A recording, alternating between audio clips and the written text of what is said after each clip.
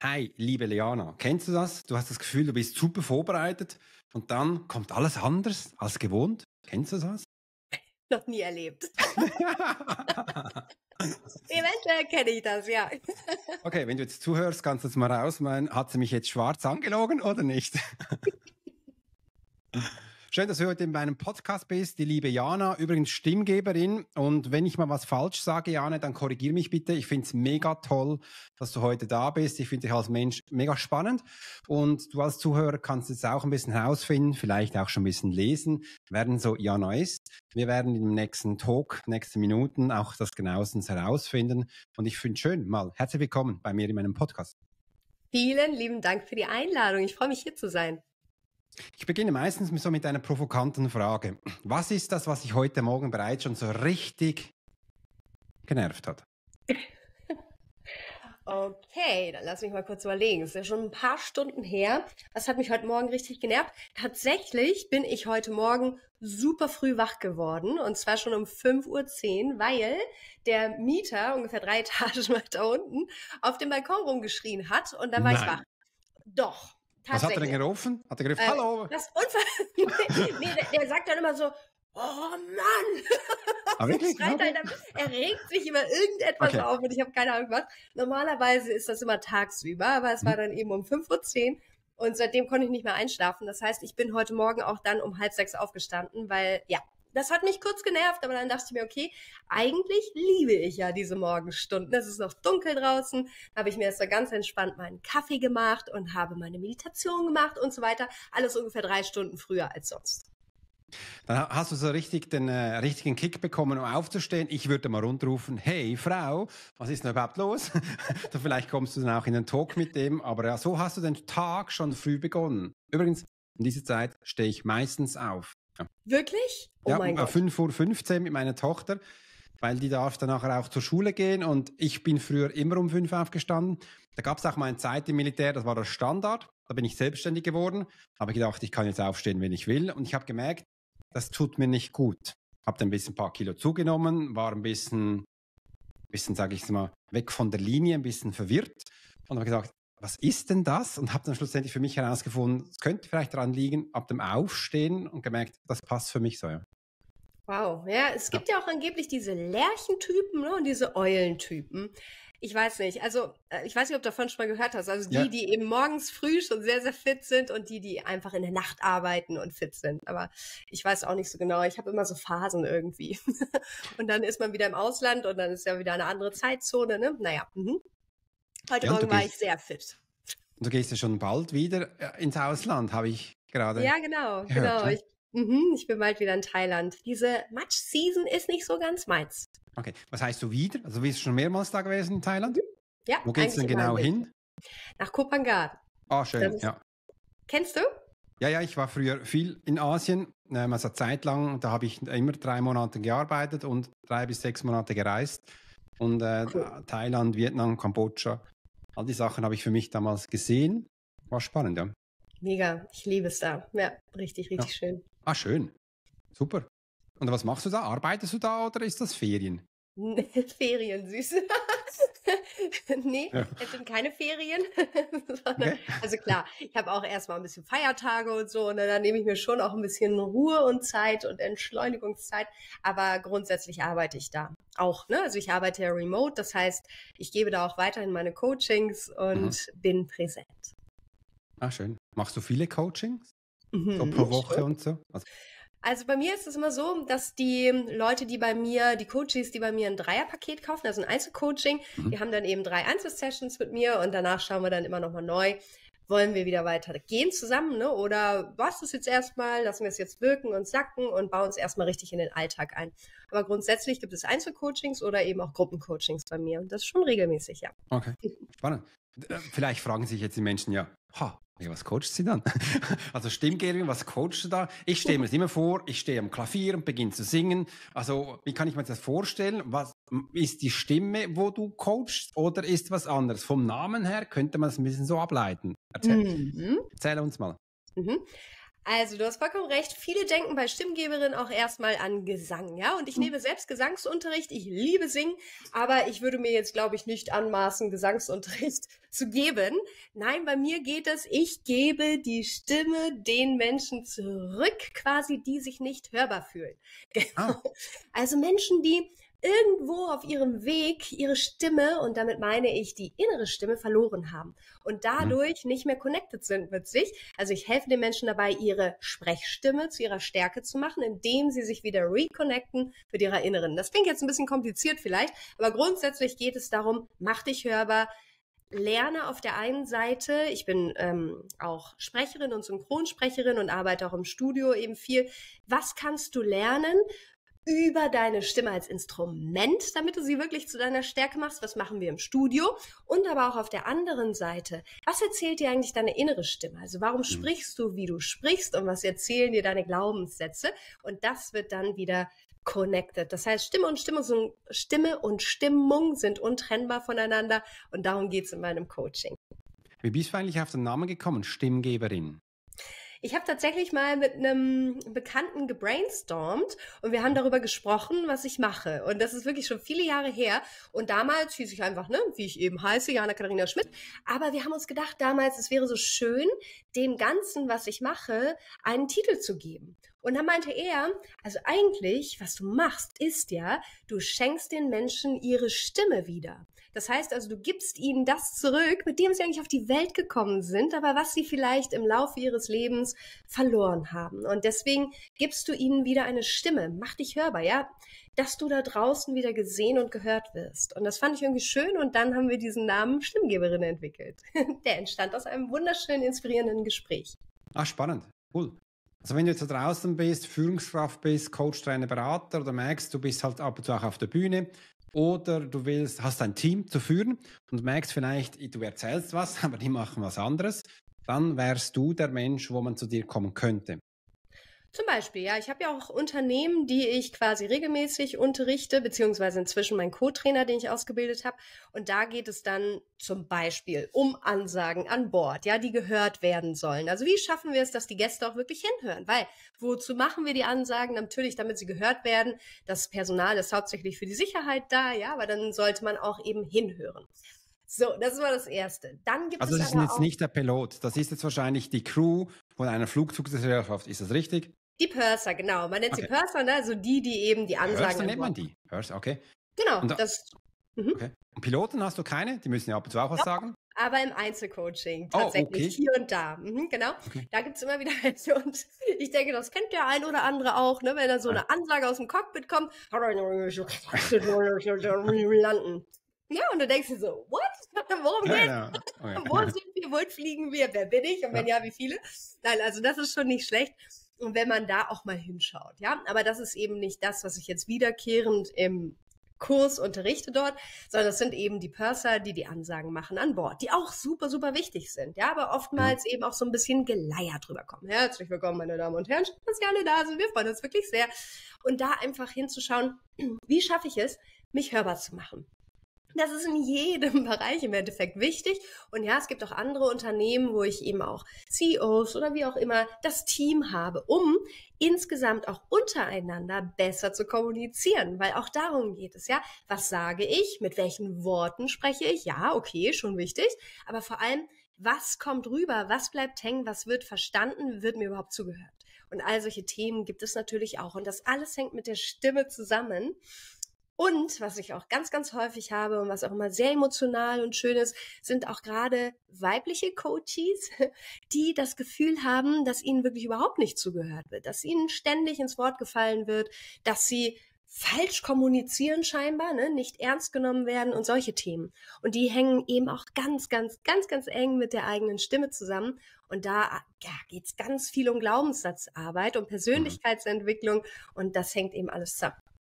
Ich finde, das war ein super wichtiges Thema, weil ich erlebe es immer wieder, ähm, dass die Menschen was denken, aber die Hälfte nicht erzählen und dann das Gefühl haben, da habe ich verstanden und man sieht das super, sobald man auch ins Marketing geht, Webseiten aufbaut und und und und dann die Menschen sagen, ja, aber ist doch klar, ist alles da, warum checken die es nicht?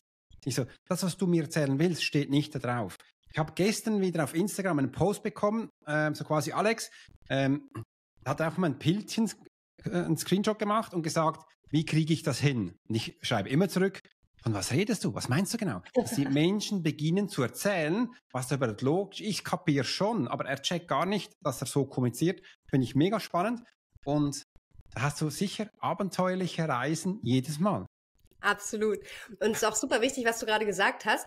Ich kenne das selber von mir auch selber noch, ne? Also von vor vielen, vielen Jahren, als ich damit auch anfing zu coachen, mich für dieses Thema zu interessieren. Bei mir war es damals selber so, ja, dass ich oftmals, so wie du es gerade gesagt hast, im Außen den Fehler gesucht habe. Ne? Die verstehen mich, warum nimmt mich keiner ernst, ne? Die sind doof, die denken, ich bin arrogant, ich bin unnahbar, die, die, die, die, die im Außen ja. gesucht und dann eben einfach irgendwann mal den Spiegel vorgehalten zu bekommen und auf dieses Thema zu kommen, der Persönlichkeitsentwicklung und einfach zu verstehen, alles geht bei mir los, ja, und wenn die mich nicht, die mich nicht verstehen und das wiederholt sich, bin ich ja scheinbar der einzige gemeinsame Nenner. Das heißt, es muss ja irgendwo bei mir starten und loszugehen für sich und zu sagen, ich möchte eine Veränderung, weil ich möchte, dass mein Leben anders wird, war eine ganz wichtige Erkenntnis. Und genauso hast du es ja auch gerade gesagt, ne? Wir dürfen erstmal bei uns hinschauen.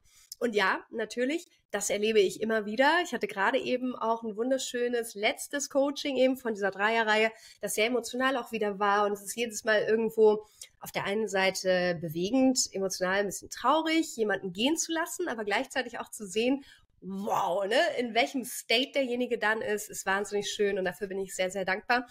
Und vor allem bin ich dankbar, das auch weitergeben zu können, was ich für mich selber gelernt habe. Das ne? war ja mein eigener Pain quasi. Ja, spannend. Ich habe dich gerade als kleines Männchen gesehen und mal gefühlt, wann ist das äh, gewesen?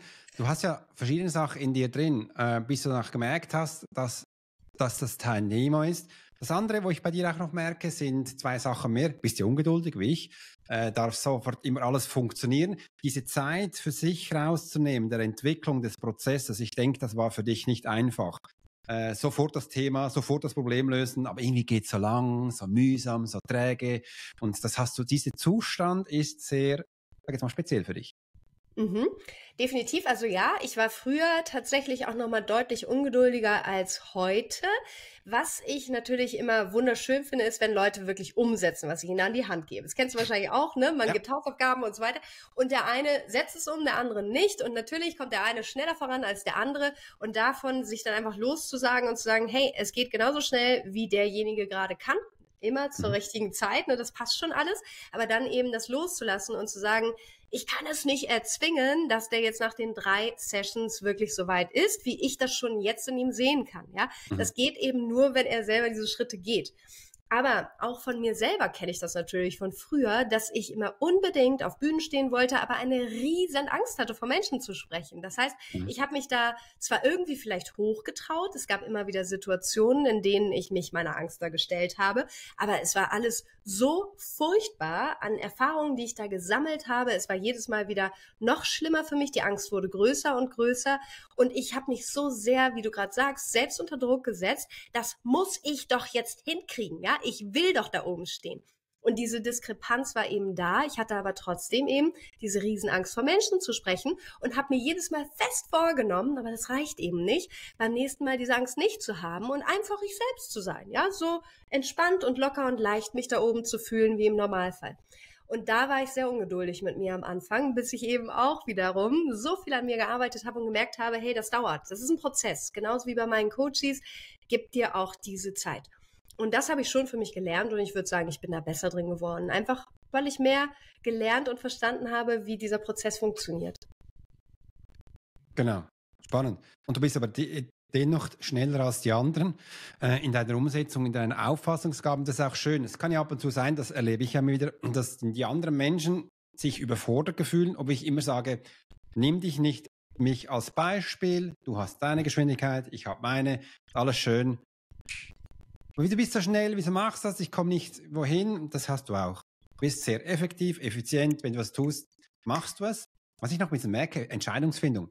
Äh, das kannst du relativ schnell, aber es gibt auch Sequenzen, wo du länger hast. Wo du so hin und her machst, so quasi heiraten, welches Kleid, hin und her und überhaupt. Uh, uh, uh.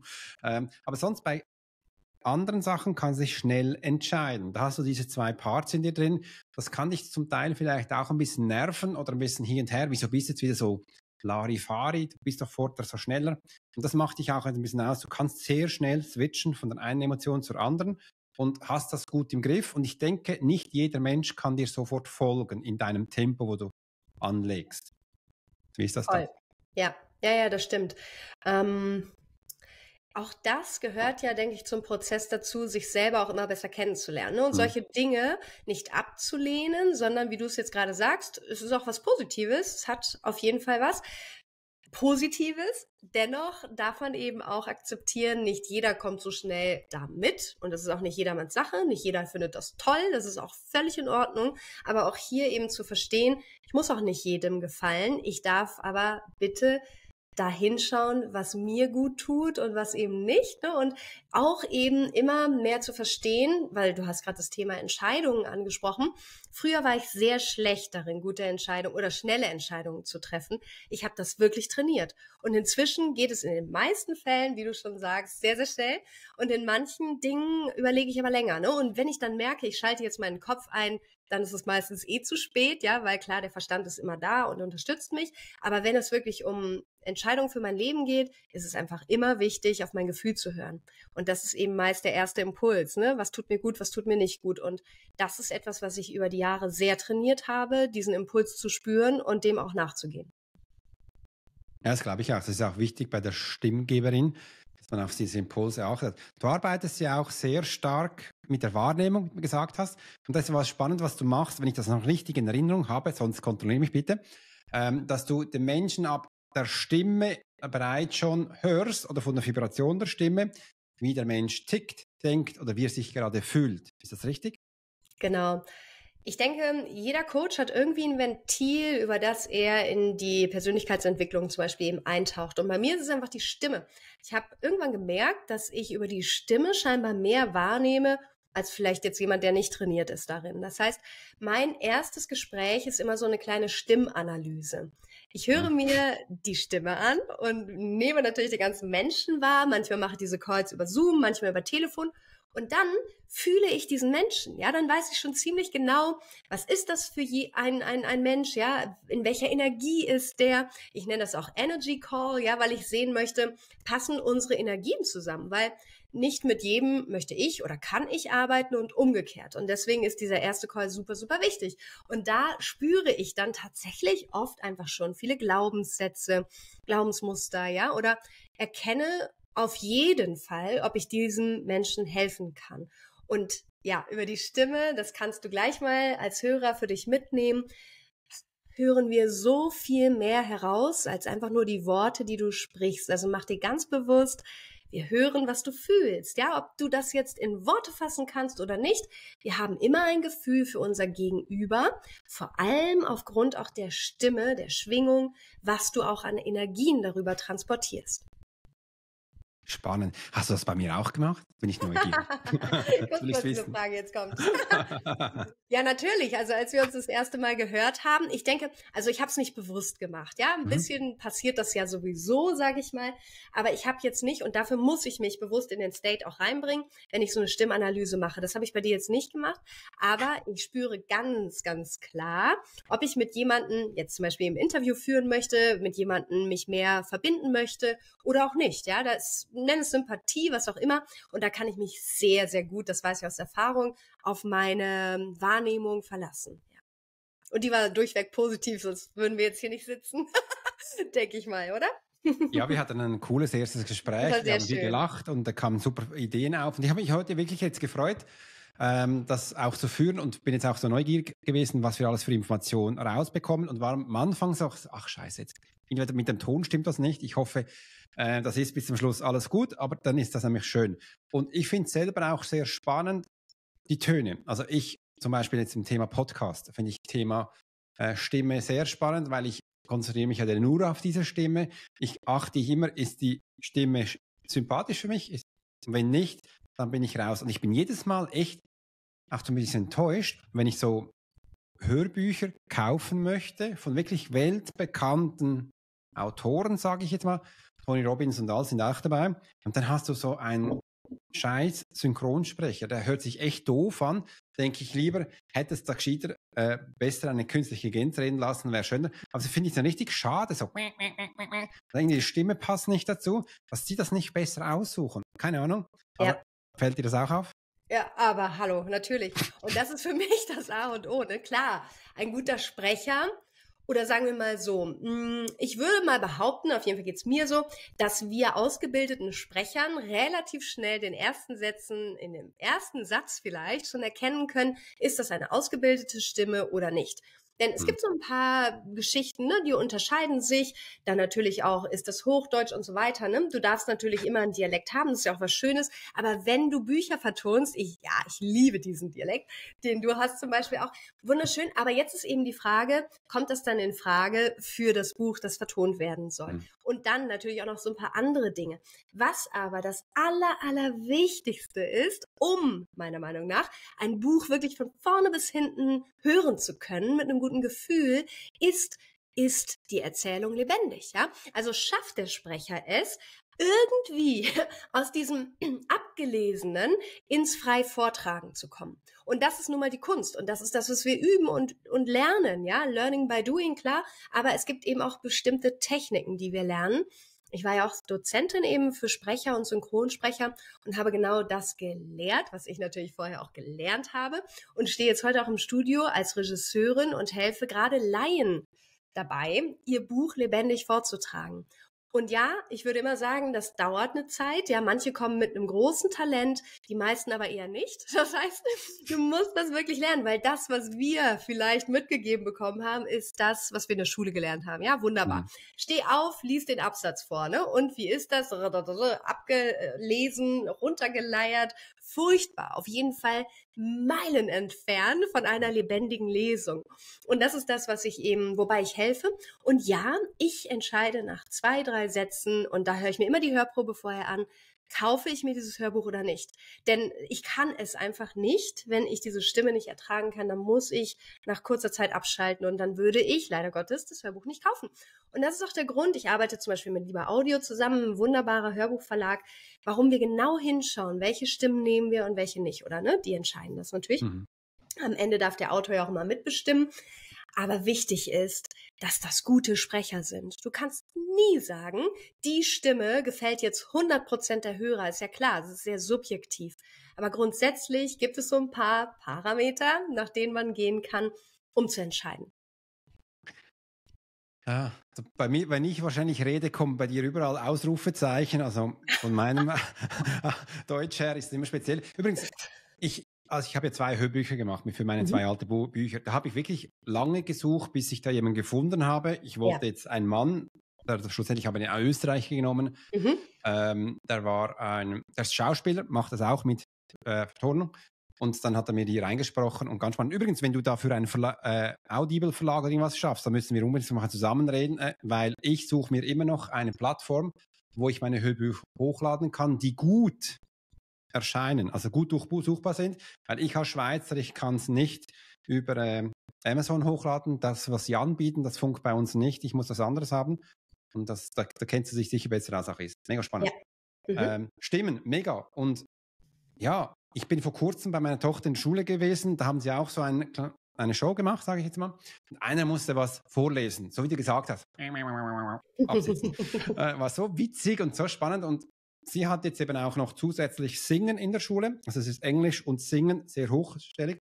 Jetzt hat sie gelernt zu atmen, die Stimme zu halten und ich kann, ich kann nicht singen. Also wenn ich singe, dann machst du die Ohren zu.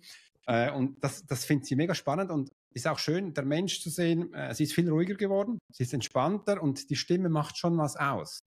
Und das passiert auch bei mir, wenn ich mit Menschen zuhöre, zum Beispiel Podcast. Ich werde selber ruhiger, schon fast meditativer Zustand und ich genieße dann auch diesen Moment von wow. Voll. Total. Ja. Auch ein wunderbares Beispiel, ja, Podcasts. Auch da. Ja.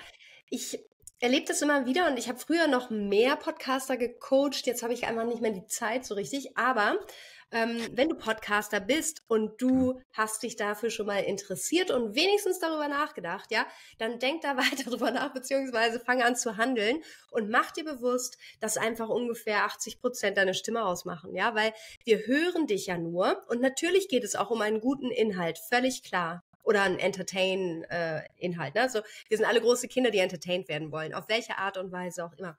Aber mach dir bewusst, dass alles steht und fällt, auch mit deiner Stimme. Und wenn die Leute nicht einfach nur 100% dich hören wollen, weil sie dich einfach geil finden oder so, dann geht es auch vor allem um die Stimme, ob sie die mögen oder nicht.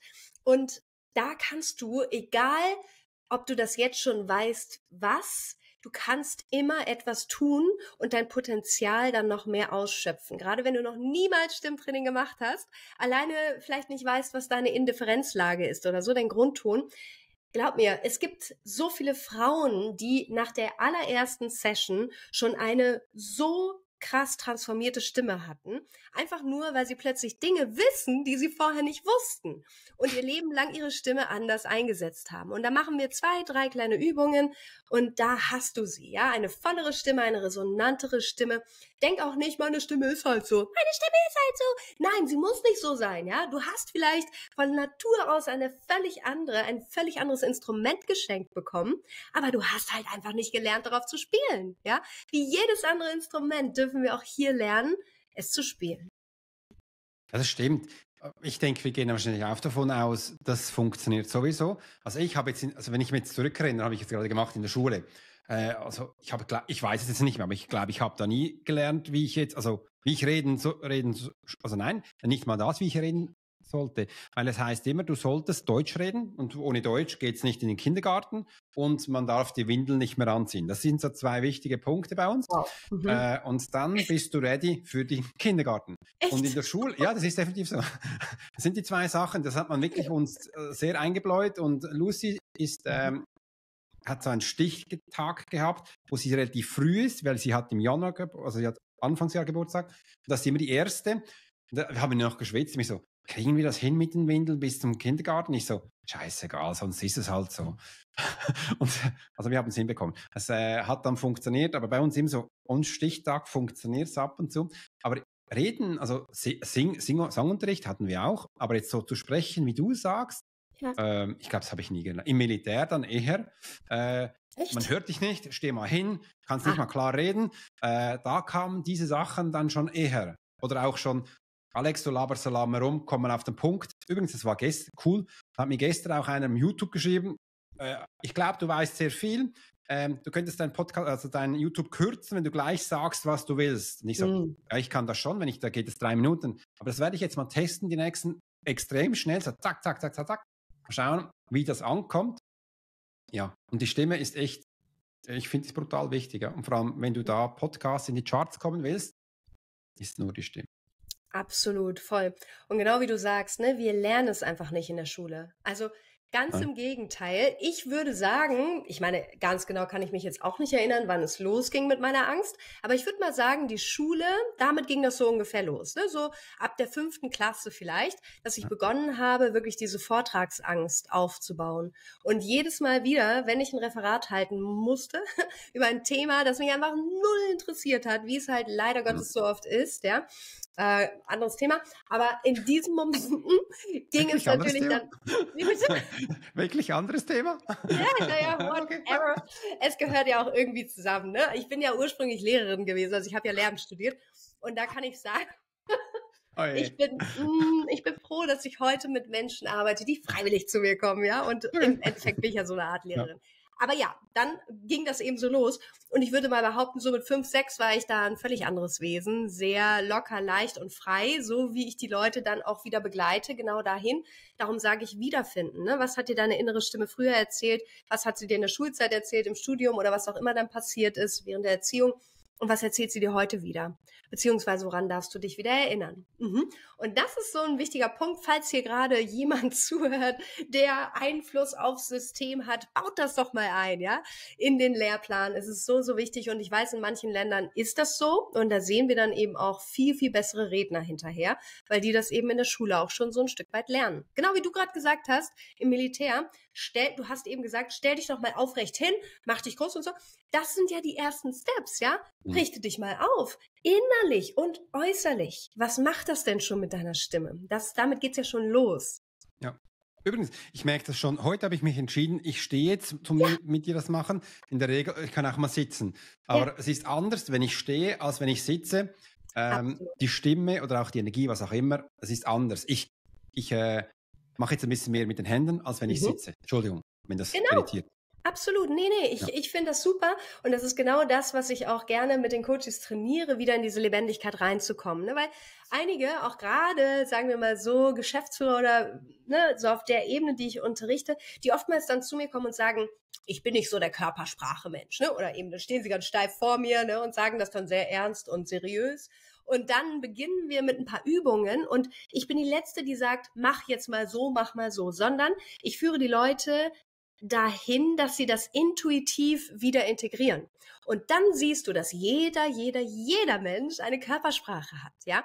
Und nicht bei jedem ist sie so quirlig wie bei uns beiden jetzt, ja, weil mhm. wir einfach Menschen mit viel Energie sind Genau, das war früher auch mein Problem, dass mir immer gesagt wurde, du zappelst zu viel rum, ja? Du wirkst nicht seriös und kompetent. Und genau diesen Stiefel habe ich mir angezogen und daraus entstand dann ja auch unter anderem meine Angst, weil ich immer dieses Gefühl hatte, ich bin nicht richtig, ich mache das falsch, ich bin nicht gut genug. Bis ich dann irgendwann das wieder released habe und gemerkt habe, hey, das gehört zu mir, diese Energie muss raus, ich bin so, ja? Und ich fühle mich auch nur wohl, wenn ich diese Körpersprache sprechen lassen darf, Bilder in die Luft malen darf. Andere sind da anders, aber jeder hat eine Körpersprache. Spannende Körpersprache. Soll ich dir auch mal meine, meine Probleme erzählen, wo ich da habe? Gleich im gleichen Thema, gleiche Bitte. Angst. Willst ja. du es hören? Okay. Ja, natürlich. Ähm, ich habe über 20 Jahre gekämpft bei mir, ähm, weil ich anscheinend, also wenn ich so Freude habe, wenn ich so in Fahrt komme, dann kann es durchaus sein, dass ich ziemlich schnell beginne zu reden. Äh, das ist nicht nur in Schweizerdeutsch so, sondern das wird auch in Hochdeutsch so. Und das denken zum Teil auch die Deutschen. Ich kann den fast nicht verstehen, der redet verdammt schnell. Äh, da wurde mir vielmal gesagt, Alex, kannst du nicht langsamer reden? Das, und ich habe wirklich immer wieder versucht, ich habe dann ab und zu auch gemerkt, da habe ich wie Blackout gehabt, weil ich habe versucht, mir zuzuhören, wenn ich rede, noch überlegt, was ich reden soll und dass ich jetzt hier langsamer, das hat nicht so funktioniert. Und ich habe wirklich 20 Jahre fast ein bisschen geübt. Jetzt langsam geht's. Ich finde es noch witzig. Wenn ich am Morgen bei mir hier sitze und einfach Podcast mache, keine Kamera da ist, dann kann ich zum Teil schön langsam reden. Mhm. Sobald ich die Kamera einschalte, völlig witzig, dann geht's völlig schneller. Aber ich habe gemerkt, ähm, das bin ich, glaube. Also erstens, ich kann ja auch kein Hochdeutsch. Ich komme da mit mir einem komischen Deutsch hervor. Das ist ja schon mal was. Und dann redet der noch so schnell. Äh, da habe ich gemerkt, Alex, ich glaube, das gehört zu mir. Das ist ein Teil. Also wenn es mir passt, dann bin ich schnell. Wenn ich angeleitet bin, dann kann ich super langsam reden. Äh, und das ist so ein Part. Und da habe ich gesagt, weißt du was, ich behalte es einfach bei. Ist mir egal, was die anderen denken. Ich bin da. Und wenn das jemand das Gefühl hat, dann mache ich einen spannenden Spruch. Und dann machen wir weiter. Das habe ich auch dann so für mich gemerkt. Aber ich brauchte echt lang, das zu akzeptieren. Man darf sich mal vorstellen, ich bin das erste Mal nach Deutschland gekommen, als Schweizer. Das war vor über 20 Jahren. Nach Berlin. Seminar. Total ausgebucht. Zwei Sätze gemacht. Da hat eine Person so gemacht. Und Berlinerin. Hat gesagt, ah, Entschuldigung, aber wann kommt denn jetzt die Übersetzerin? Ich so, Scheiße. Ich so, die kommt nicht. ich so, ach Mensch, Scheiße. Ist das wirklich so schlimm? Das, so Fall so. Das, das waren so meine Startpunkte. Wahnsinn. Und das war echt, also das ja. ist so mein Thema, das schnelle Reden, ja. Hm, spannend. Da waren so viele spannende Themen gerade dabei, die du äh, erwähnt hast. Und das ist genau der Punkt, ja. Erst einmal, und ich hoffe, das hat jeder da draußen schon mindestens mal gehört und hoffentlich für sich auch schon verstanden dass wir niemals jedem gefallen werden. Und das ist auch nicht unsere Aufgabe, ja. Die richtigen Deckel finden unseren Topf. und genau diese Hörer hast du in deinem Podcast, ja. Die habe ich in meinem Podcast. Und das ist genau auch ein ganz wichtiger Punkt für mich gewesen, das zu verstehen. Auch ich habe ja die Tendenz dazu, schnell zu reden. Natürlich habe ich für mich das auch trainiert, ja. Und hier Korken habe ich immer parat, ne, kann ich euch nur empfehlen mal ab und zu mit einem Korken zu sprechen, weil ihr da nämlich deutlicher sprechen müsst und natürlich mehr Zeit braucht, um Worte zu kreieren, zu formen. Das hilft, um danach eben ein Stück weit langsamer zu sprechen. Aber ja, ihr werdet nie jedem gefallen. Und dann gibt es ja auch wieder die, die sehr, sehr langsam sprechen Und da denke ich mal nur so, komm zu. ne? Das ist eben nicht so meins, aber das ist ja auch vollkommen in Ordnung. Dann stelle ich halt auf höhere Geschwindigkeit. Also, das geht ja jetzt inzwischen alles. Was ich aber noch sagen möchte, und das fand ich gerade auch so schön, wenn du ohne Kamera deinen Podcast einsprichst, hast du gesagt, sprichst du ja. langsamer. Und das ist im Übrigen auch der Grund, warum ich eigentlich meinen Podcast immer nur als Audiodatei teile. Denn ich spreche eigentlich immer, wenn ich etwas spreche oder erzähle, was ähm, eben zum Beispiel mit meinen Techniken, mit meinen Gedanken und so weiter zu tun hat, mit geschlossenen Augen. Und eigentlich ständig, durchgängig, ja, weil ich dann mega connected bin mit mir selbst und vielleicht ist es auch bei dir so ein Stück weit das, ne? Dann ist plötzlich die Kamera an, das kennen super viele, ich mache auch Kameratraining und auf einmal wird man stocksteif oder spricht auf einmal viel schneller oder ist in irgendeinem anderen komischen State, den du sonst nicht hast, ja? Aber in dem Moment, wenn du bei dir bist und vergisst, dass da das Mikrofon ist, deine Augen schließt, dich mit dir verbindest und eigentlich mit dir auch alleine bist, aber in der Präsenz hoffentlich, in dem äh, Gefühl, dass du gerade zu anderen sprichst. Ich kann mir vorstellen, dass du deswegen auch ein bisschen langsamer sprichst, weil du dann voll und ganz bei dir bist. So geht's mir. Und der letzte Punkt noch, eine lebendige Persönlichkeit hat einfach eine lebendige Stimme. Und wenn du, so wie du, eine super quirlige, kreative, lebendige Persönlichkeit bist, dann will das auch nach draußen und dann ist die Intonation so und nicht so, ja. Monotonie ist übrigens etwas, was eigentlich kaum jemand ertragen kann. Von daher sei so glücklich, dass du diese Ausdrucksweise hast. Danke dir vielmals. Und übrigens mega wertvolle Tipps, die du mitgegeben hast. Nutze das gleich mal aus. Was ich da bei mir gefunden habe, ich mache einfach das Kamerabild weg äh, oder mache hier meine Notizen hin, dann quatsche ich dahin. Und, und das passt es. mir. Und wenn, ja. ist noch witzig, wenn die Menschen mich dann das erste Mal erleben, die einen oder anderen kommen dann und sagen, Alex, warst du nervös? Ich sage, nein, ich bin hyperaktiv, aber ist okay, ich habe Spaß gehabt. Siehst äh, du, das ist die Hauptsache. genau, und das ist so, ah, so, ja. vielleicht werde ich dann ja. einfach nicht so alt. Ja. Aber es ist so spannend, ja. Du hast davor mal spannend gesagt, du hast gesagt, du führst die Menschen dahin, also zu ihrem, zu ihrer Stimme. Na, wie machst du das? Also, du weißt selber, das Wie machen wir dann im Coaching. Das wirst du dann sehen. Aber grundsätzlich, und das ist auch immer individuell, aber grundsätzlich geht es immer in der Reihenfolge fühlen, sprechen, bewegen. Wir gehen erst ins Gefühl rein und fragen uns, beziehungsweise ich höre mich ein ne, und höre, warum spricht diese Person meiner Meinung nach so, wie sie spricht? Was verstecken sich für Glaubenssätze dahinter? Was ist die Intention? Was wollen die Leute denn sagen? Was wollen sie initiieren? Was wollen sie für eine Bewegung in die Welt setzen? Was ist es, wofür du hier bist, wofür du antrittst? Also was fühlst du darüber? Was ist deine Meinung dazu? Und dann gehen wir ins Sprechen. Du lernst von mir dann natürlich die Tools, die du brauchst, um deine Stimme als Instrument zu schulen. Da gibt es dann genau das an die Hand, was wir im Studio auch nutzen, als Studiosprecher, als professionelle Sprecher. Aber auf der anderen Seite geht es auch darum, das zu sprechen, was du fühlst. Also deine Stimme mit deiner Stimmung zu verbinden. Wieder zu verbinden und wirklich mhm. genau das zu sprechen, was du wirklich fühlst. Die Angst auch loszulassen, dass du dich verletzlich zeigst, dadurch, dass du dich jetzt plötzlich zeigst. Und dann am Ende im dritten Schritt geht es ums Bewegen. Wie schaffe ich es jetzt mit diesem Paket, die Menschen im Außen zu bewegen? Und das ist die Reihenfolge. Du gibst, du bekommst natürlich Material an die Hand, auch aus dem Sprecheralltag. Ja, wir haben da auch wirklich schöne Texte, die ich verwenden kann oder auch die ich inzwischen aus meinen eigenen Jobs mitgebracht habe. Aber vor allem geht es sehr in die Tiefe und du wirst einfach hinterher dich wie ein neuer Mensch fühlen, obwohl du mehr denn je wieder mit dir in Verbindung stehst. Und das ist was Wunderschönes. Ich begleite dich dahin, deine eigene beste Freundin zu werden und vor dem Spiegel stehen zu können und nicht mehr dein größter Feind zu sein, sondern deine beste Freundin.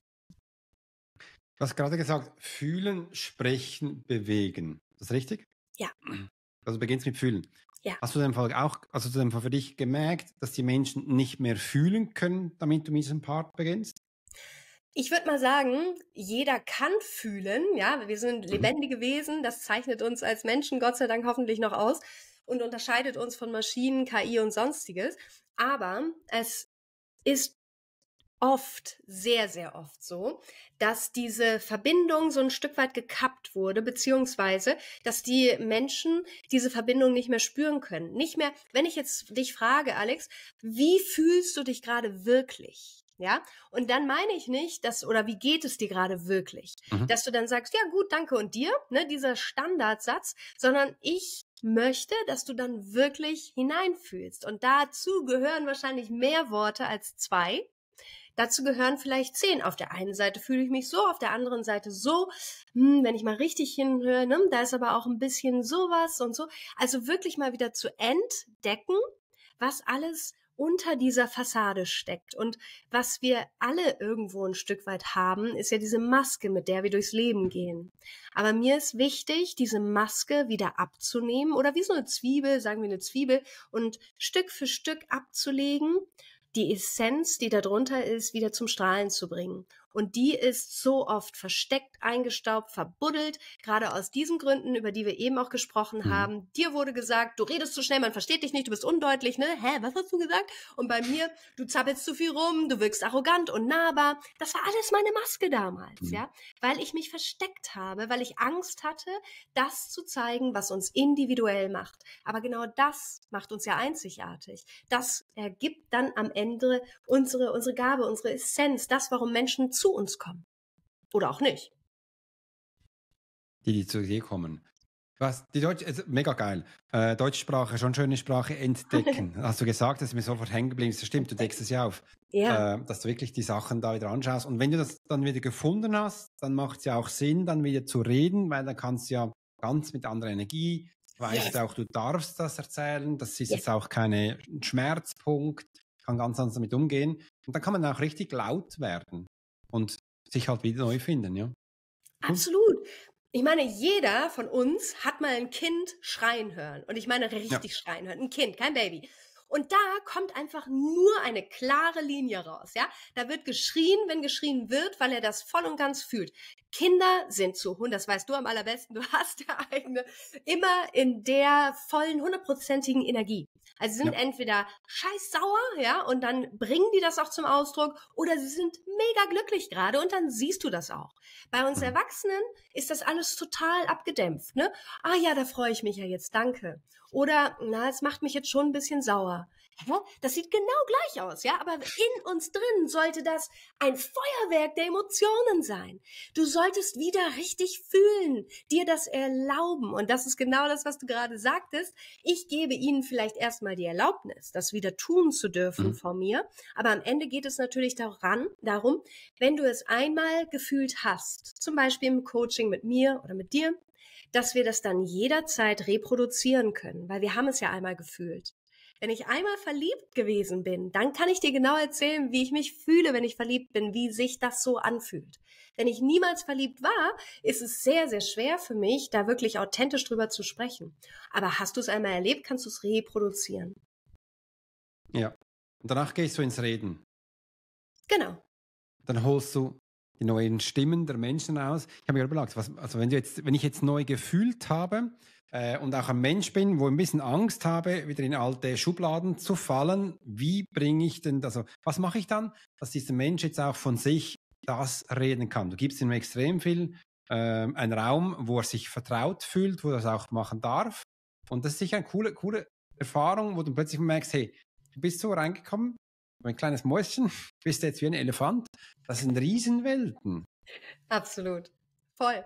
Und das ist das Spannende, Alex, weil wenn dieser Prozess erstmal stattgefunden hat, mhm. ne, das ist immer dieser schöne Moment, wenn ich dann sehe oder richtig fühlen, nachempfinden auch kann, wie dieser Coach hier plötzlich bemerkt, dass die Stimme sich jetzt schon ver verändert hat, obwohl wir noch überhaupt nicht ins Stimmtraining reingegangen sind. Ja. Klar, wir machen so ein paar Übungen, ne?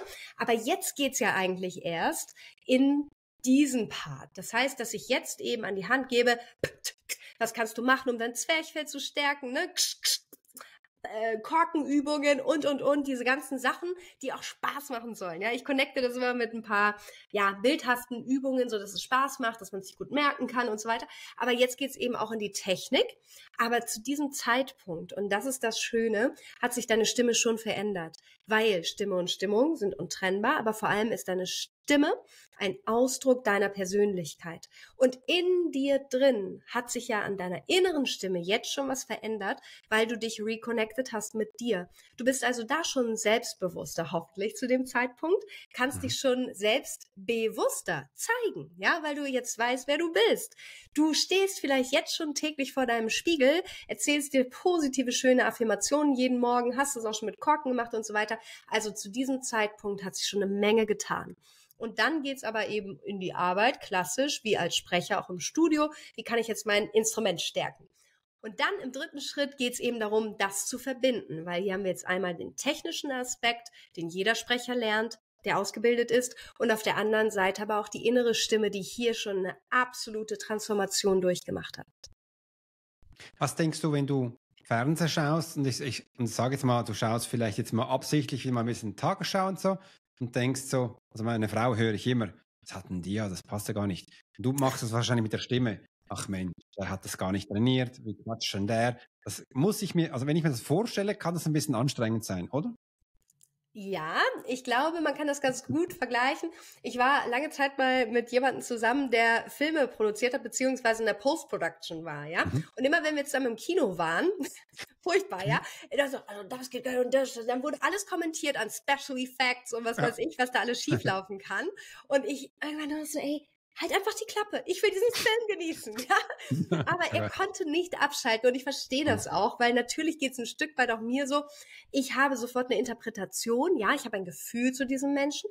Aber wie ich eben schon gesagt habe, ich kann das schon auch unterdrücken oder sagen wir mal den Fokus nicht darauf richten, ob ich jetzt eine Stimmanalyse gleich mit jemandem mache. Das mache ich wirklich auch nur, wenn ich die Erlaubnis habe. Ja, dann frage ich auch vorher, ist das okay? So. Mhm. Und dann mache ich das. Aber dafür ist auch wichtig, dass man sich nicht kennt ne? weil ich möchte ja ganz unvoreingenommen da reingehen. Und von daher, wenn ich jetzt Fernsehen, natürlich, ich kann es nicht komplett unterdrücken, denke ich, aber hauptsächlich geht es mir da um die Gesamtpräsenz. Ne? Wenn jemand dann vielleicht einen Sprachfehler hat oder eben auch komisch aussieht und so, klar fällt das auf.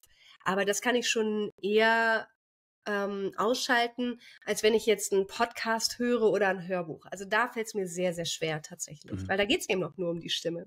Ja, total, total, ja.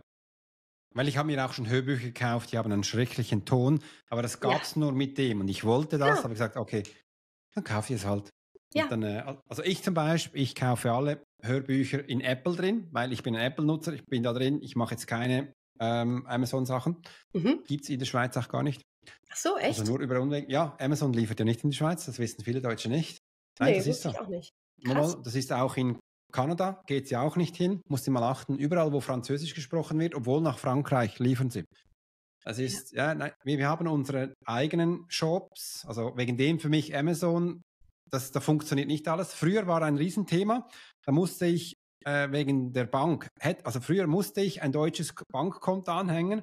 Habe gesagt, Jungs, ich Schweiz, ich habe kein Deutsch, sonst Schwarzkonto. Das findet mein Staat nicht so cool. Ja. Äh, das kannst du vergessen. Wahnsinn. Jetzt mittlerweile kann ich ein Schweizer Konto anhängen. Also sag ihm so, wann kommt die hier hin? Aber ja, die interessiert uns, glaube ich, gar nicht. Also, nein, wir haben das nicht. Krass, okay, das ja. wusste ich wirklich nicht. Ja. Also wir sind da hinter dem Mond, also Schweiz ist sehr klein, gell? Ihr seid das. ja, das genau. okay. Ja.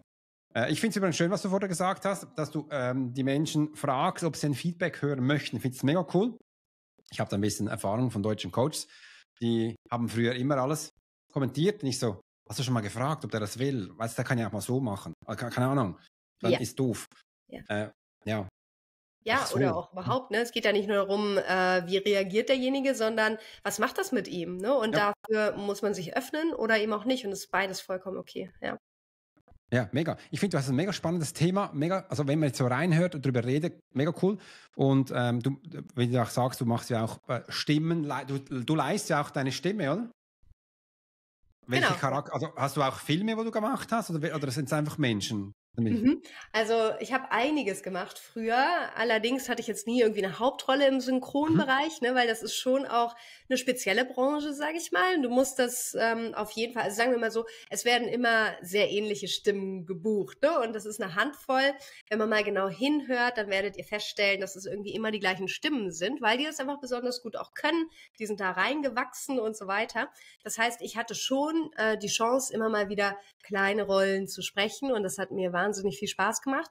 Auch unter anderem, ja genau, zum Beispiel Tinkerbell und das Piratenschiff, das fällt mir jetzt spontan ein. Da habe ich eine Elfe gesprochen, eine Schnecke. Ja, wirklich? Welche? Ja, das habe ich mit meiner Tochter, die wollte schauen, wie bescheuert. Ich kann es dir nicht mehr sagen. Oben und runter. Ich kenne, glaube alle. Ich habe alle gekauft. Alle Filme sind da. Wirklich? Ja, ja also die Pirat war der letzte, aber Tinkerbell mit, mit diesem Flauschdinger und dann äh, echt witzig, Ach, bis lustig. sie da ihre Talente ausgefunden hat. Sie wollte ja eigentlich nicht der Tinker sein. Sie äh, der war ja als Versuch an. Die Wasserfee, die war ja mega die Zicke. Ja, spannend. Super, wenn du das hast, dann können wir es zusammen nochmal anschauen, dann sage okay. ich dir, du weißt es wieder, das ist so viele Jahre ja. her. ja, weil da macht auch ein Schweizer mit. Der Schweizer ist noch witzig. So. Also, ne, wie gesagt, du, wenn du da sehr dran bleibst und wirklich alles gibst und dich anbiederst, auch gerade am Anfang, wenn man dich nicht kennt als Stimme, dann musst du dich natürlich auch selber zeigen, mach dich hörbar dann würde ich sagen, hast du eine Chance. Ne? Aber ähm, ich kann nur aus meiner Zeit damals berichten. Bei mir war es noch so, es war noch lange vor Corona. Ich bin einfach in die Studios rein, habe gesagt, hallo, hier bin ich, ich möchte gerne bei euch sprechen. Gibt es irgendwie eine Chance? Und ich habe mich nicht angemeldet, ich habe nicht vorher angerufen, weil ich weiß, dann wirst du abgeblockt oder abgewiesen. Ich habe auch nichts hingeschickt oder so. Ich bin einfach hingegangen. Und damit hatte ich sehr viel Erfolg tatsächlich und bin dann da so ein bisschen rangekommen dadurch. Ne? Und wo dann, wenn du dich dann mal bewiesen hast, dann wirst du auch wieder angerufen. Ne? Aber die müssen dich auf dem Schirm haben, weil sonst gibt es einfach viel zu viele. Und so war das damals bei mir.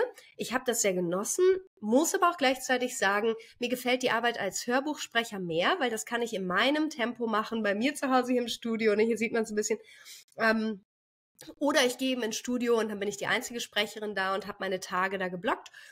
Und das bringt mir mehr, sage ich mal, ne? weil du kannst das eben auch individuell einrichten und beim Synchron musst du eben vor Ort sein. Ne? Dann wirst du gebucht für eine gewisse Zeit und dann gehst du dahin. Und ich bin ja viel auch mhm. unterwegs und deswegen ist das für mich schöner, Hörbücher zu vertonen. und das mache ich noch immer. Spannend, also wenn du Stimme brauchst, da ist Jana, hol sie dir, buch sie dir. Ich finde eine sehr angenehme Stimme. Kann gut reden und spannende Sachen, die du hier zeigst und mit den Menschen aufbaust und schön, dass du uns auch einen Teil geschenkt hast, hier reinzuschauen, deine Arbeit, dass wir dich kennenlernen durften. Mega spannend, dass du hier warst. Jana, wo findet man dich, wenn ich jetzt mehr von dir erfahren möchte? Wenn du dich für das Thema interessierst und jetzt gerade spürst, boah, ich will da mehr drüber erfahren und mit mir arbeiten, dann komm doch einfach mal bei Instagram zu Besuch. Da findest du mich unter Stimmgeberin oder du guckst stimmgeberin.de auf meiner Homepage dich mal um und da findest du auch alle weiteren Infos. Du kannst mir auch gerne schreiben unter info@stimmgeberin.de und ich habe auch einen Podcast, der heißt Pump Up Your Voice, Erfolgsbooster Stimme. Auch da freue ich mich natürlich sehr, falls du dich da mal reinhören möchtest.